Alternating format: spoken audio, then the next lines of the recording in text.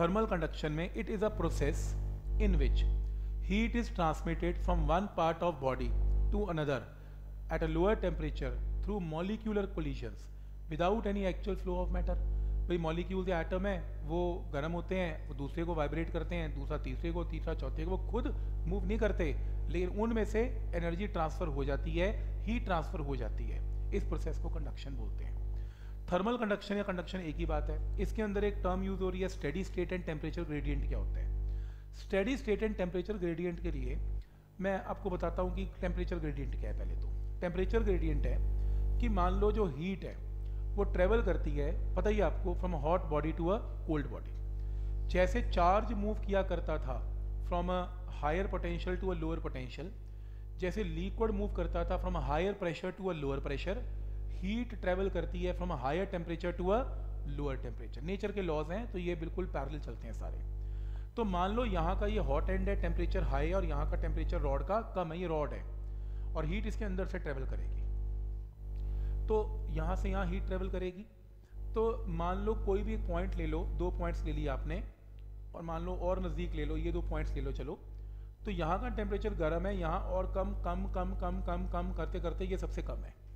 तो एक हॉट है, एक कोल्ड है तो रास्ते में जब हॉट से कोल्ड जाएँगे टेम्परेचर डाउन होता जाएगा दो पॉइंट्स का। तो मान लो यहाँ और यहाँ का टेम्परेचर डिफरेंस कितना है? डी टी या डेल्टा टी कुछ भी ले लो डी टी और इनके बीच में डिस्टेंस है, मान लो स्मॉल डी एक्स तो डी डिस्टेंस में टेम्परेचर फॉल कितना आ गया? डी फिर अगले डी में कितना आ गया? डी तो अगर आप change in temperature by length को डिवाइड करेंगे, इसको क्या बोलते हैं? टेम्परेचर का ग्रेडियंट ग्रेडियंट में आपको याद होगा किसी भी टर्म के नीचे लेंथ आ जाती है। जैसे pressure gradient pressure by length velocity gradient velocity by length temperature gradient temperature by length तो डी टी बाई क्या है? इसका टेम्परेचर ग्रेडियंट है। तो ये टेम्परेचर ग्रेडियंट है। पहली चीज़ है, कहाँ यूज़ होता है अभी बताऊँगा मैं इसे। दूसरी चीज़, इसके अंदर स्टेडी स्टेट क्या होती है? स्टेडी स्टेट का मतलब होता है कि rate of flow of heat rate of flow of heat is constant constant है. तो rate of flow of heat constant है. यानी कि amount of heat amount of heat जो फ्लो हो रही है पर सेकेंड उसकी वैल्यू क्या है? कांस्टेंट है.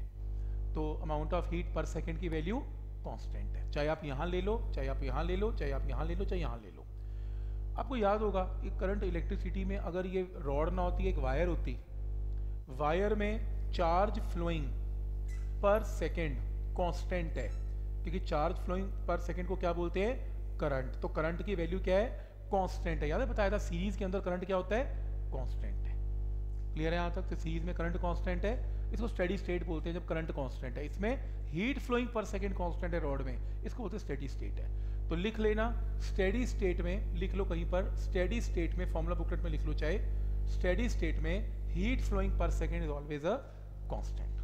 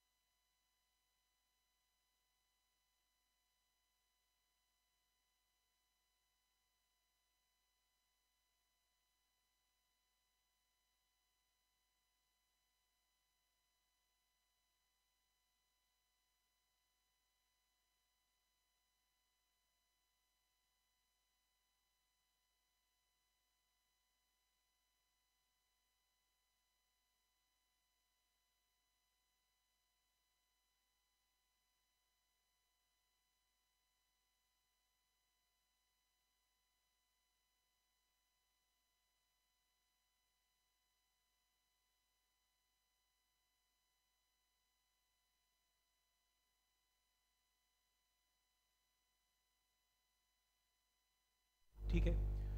अब इसमें तो इसमें मैंने बता दिया इसमें कि स्टडी स्टेट का मतलब क्या है? मैंने बता दिया टेम्परेचर ग्रेडियंट क्या है? Delta A divided by D को डी टी बाई डी ले लो। टेम्परेचर डिफरेंस है और कितने डिस्टेंस के बीच में टेम्परेचर डिफरेंस है? तो टेम्परेचर डिफरेंस को डिस्टेंस से डिवाइड करेंगे टेम्परेचर ग्रेडियंट आ जाएगा। तो ये मैंने आपको बता